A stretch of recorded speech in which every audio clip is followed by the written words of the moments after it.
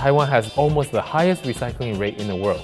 We are in the island, there's not much resources coming in. So every resources has to be reused. MiniWiz is uh, start off with a broad mission. We think it is wise to minimize. We think we have to minimize carbon footprint by using recycled resources.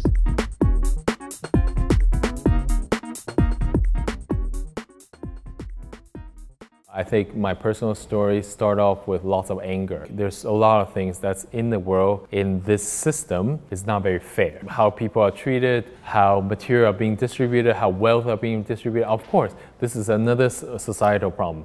Uh, what we started off with is how to make green power devices to power your cell phones. The idea is we have to link green living, green materials into people's hands.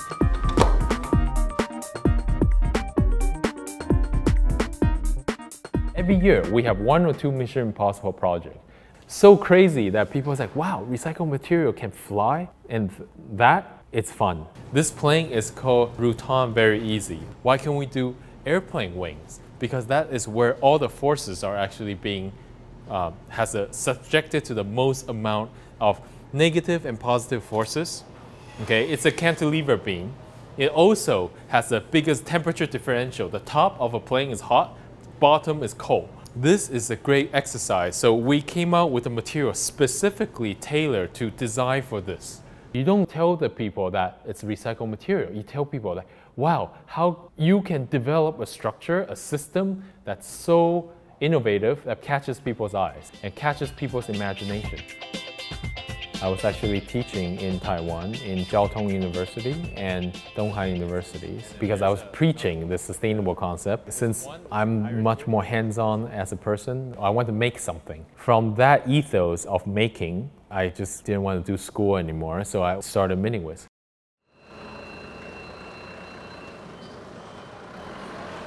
Today, we are at one of MiniWiz's biggest partners, collaborators, factory called Bangxie. Okay, Bangxie, Andy is the chief R&D officers for the, uh, this corporation.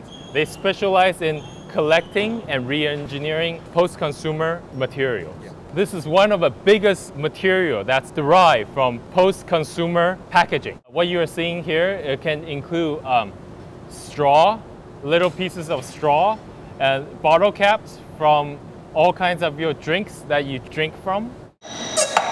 This painful R&D experience is fun. It really depends on the entrepreneur's tolerance of that pain. So obviously we have a group of people that are quite capable of tolerating that uncertainties.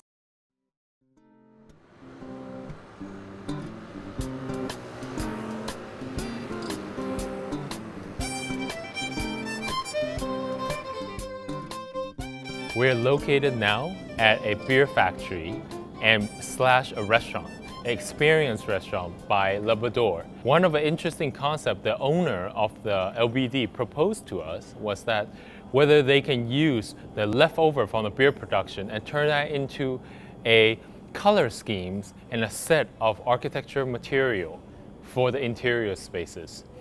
Even from the chair all the way to the ceiling. It's all made from the leftover of a beer manufacturing, made from wheat husk and beer husk. They decided that they can take some of the old bottles and turn that into walls.